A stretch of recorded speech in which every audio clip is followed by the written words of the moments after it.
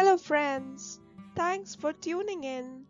Welcome back to English Arcade, a channel just for you which helps you polish your English writing skills, grammar and literature. This video is also a part of the Writing Skills Made Easy series. In this video, we will learn how to write a picture composition and this video is relevant for students of all classes starting from primary to middle school. So through this video, we will understand the following aspects. What is a picture composition? How is it written? That is all the steps involved in writing a picture composition and we will understand it better with the help of a solved example. Have you heard the quote, every picture tells a story? Friends, that is exactly what we are going to learn. We will learn how to write a story or a description by looking at some pictures. After all, sometimes a picture speaks a thousand words. That is, it conveys more than what can be expressed through words. So what is a picture composition? A picture composition is a composition or a piece of writing based on a given picture in order to describe the picture. That is, it is an exercise when we describe a picture by writing meaningful sentences or a paragraph on it. Thus, we can frame sentences and form stories on our own. This involves writing a paragraph or a story based on the given picture. Now there are two kinds of pictures. A single picture with many elements or many pictures with a single element. A single picture with many elements will have too many people or creatures and lots of things happening in a single picture. Let us now understand the steps that are required to describe a scene in a picture composition. Remember, these steps will be applicable for a single picture with many elements. First, carefully observe the picture. Then ask questions and note down the answers or other observations about the picture in your notebook. After that, arrange the observations as points in a logical manner and then write meaningful sentences to form a composition or a paragraph. Finally, write a title for the composition which should be based on the main theme of the composition.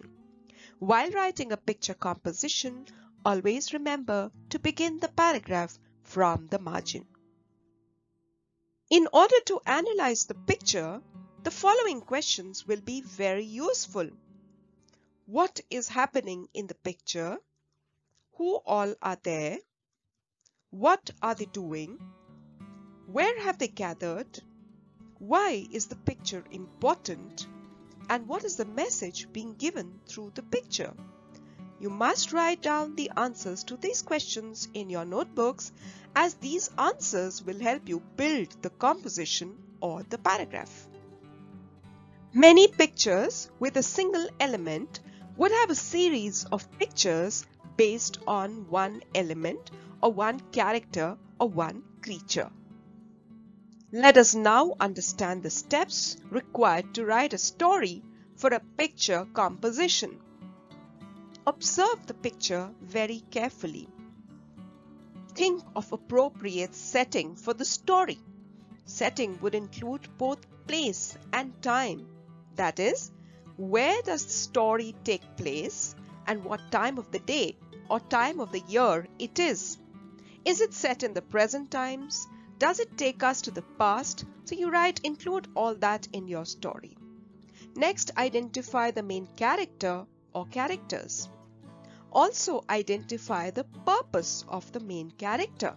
So what is it that the main character really want to do? After purpose comes action. So if there is something that the main character want to do, what does he do to resolve the problem or to achieve the purpose that he or she has in mind. The story should include some emotions expressed by the main character. So feelings, anger, helplessness, fear expressed by the main character could be made a part of the story. And the story ends with a conclusion. The conclusion most of the times is a resolution of the problem that the main character experienced at the beginning. Please note that present tense will be used while describing a scene and past tense will be used while writing a story. We will now understand how to write a picture composition with the help of this example. Write a picture composition based on the following picture in about 100 to 150 words. Please observe the picture very carefully. You may use the pause option to have a good look at it. Now let's have a look at the answer. Please note that the composition has been written in a single paragraph with complete sentences and appropriate punctuation marks. The paragraph is based on different questions we asked while observing the picture. The different questions that have been answered are where is the scene set? What is happening here? Why have people gathered here? What are they doing? What are the other things visible? Etc. I hope by now you have all understood how to write a good picture composition. Let's have a look at some key points explained in the video. A picture composition is a composition based on a given picture. There are two kinds of pictures, a single picture with many elements and many pictures with a single element. We use the present tense while describing a scene and we use the past tense while writing a story. The picture composition is written in one paragraph only. The word limit is 100 to 150 words the title is written on top. Thank you for watching this video. Kindly like, share and subscribe to my channel.